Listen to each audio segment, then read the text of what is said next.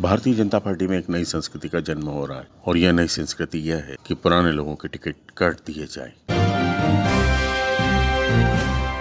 जी हाँ भारतीय जनता पार्टी में, मोदी संस्कृति में अब यही कहा जा रहा है कि मोदी जी के अंगने में पुराने लोगों का क्या काम है। इसीलिए भाजपा के संस्थापक लाल कृष्ण अडवाणी मुरली मनोहर जोशी के टिकट काट दिए गए हैं। कुल मिलाकर अभी तक जिनके टिकट काटे गए हैं, उनमें लाल कृष्ण आडवाणी, मुरली मनोहर जोशी, शांता कुमार, कलराज मिश्र, बीसी खंडोड़ी और इसके अलावा अन्य कई नेता शामिल हैं। इधर बेंगलुरु से छह बार सांसद रहे दिवंगत अनंत कुमार की पत्नी तेजस्विनी को भी टिकट नहीं दिया गया है।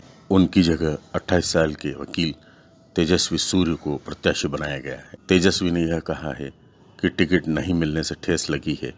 और खुद को समझाने की कोशिश कर रही हूँ। कुल मिलाकर भारतीय जनता पार्टी में इन दिनों घमासान चल रहा है और इधर सुषमा स्वराज और उमा भारती भी कह चुकी हैं कि वे इस बार चुनाव नहीं लड़ेंगी। कुल मिलाकर भारतीय जनता पार्टी में पुराने लोगों को टिकट नहीं दिया जाना बेहद चर्चा का विषय बना हुआ है।